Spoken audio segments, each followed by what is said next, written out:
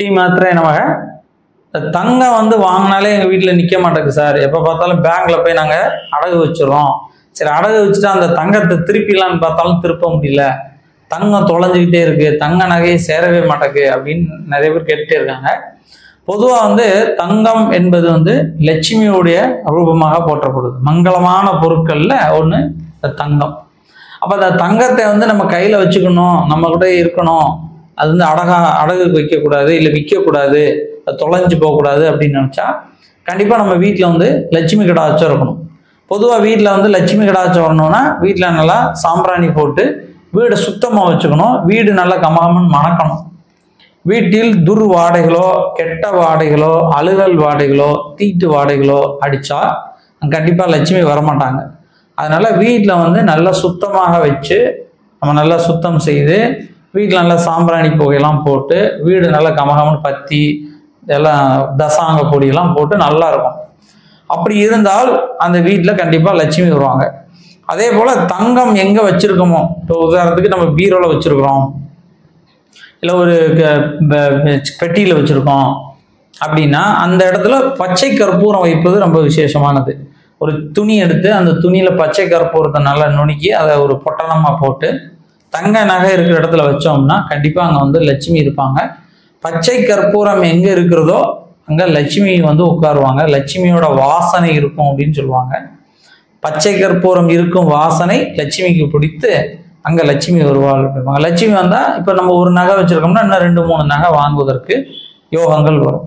அவ்வளவு சிறப்பு கொண்டது இந்த லட்சுமி வழிபாடு. அதாவது வீட்டில் வந்து லட்சுமி படம் வைத்து இந்த லட்சுமி பூஜை செய்தாலும் தங்க நகைகள் தங்கும்.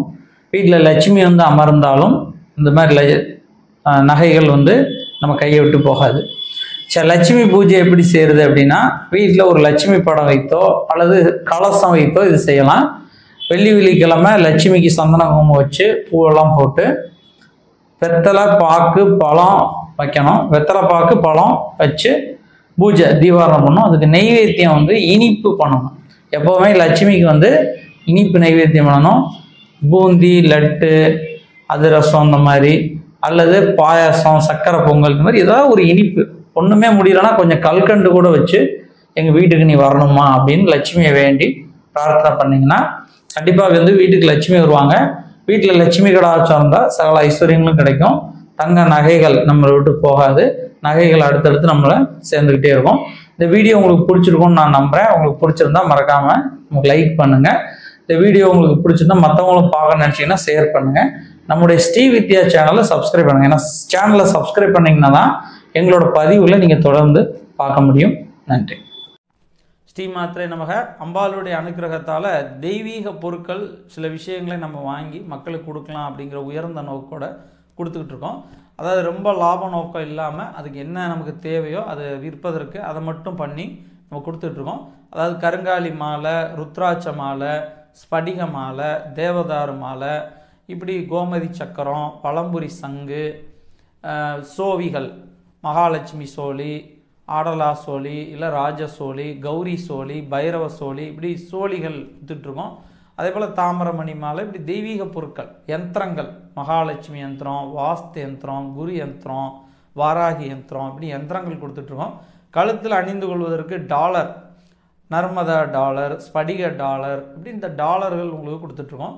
அந்த மாதிரி உங்களுக்கு ஏதாவது தெய்வீக பொருட்கள் சக்தி பெற்ற உரு ஏற்றப்பெற்ற சக்தியான பொருட்கள் உங்களுக்கு ஒருவேளை தேவைப்பட்டது அப்படின்னா கீழே இருக்கக்கூடிய இந்த நம்பரில் வாட்ஸ்அப்பில் தொடர்பு கொள்ளுங்கள் மேக்ஸிமம் ஃபோன் செய்வதை தவிர்த்துட்டு வாட்ஸ்அப் மூலமாக தொடர்பு கொண்டிங்கன்னா உங்களுக்கு இந்த தெய்வீக பொருட்கள் நீங்கள் எந்த ஊரில் இருந்தாலும் உங்களுக்கு தபால் மூலமாகவோ கொரியர் மூலமாகவோ இல்லை பார்சலாகவோ உங்களுக்கு அனுப்பிச்சி வைப்போம்.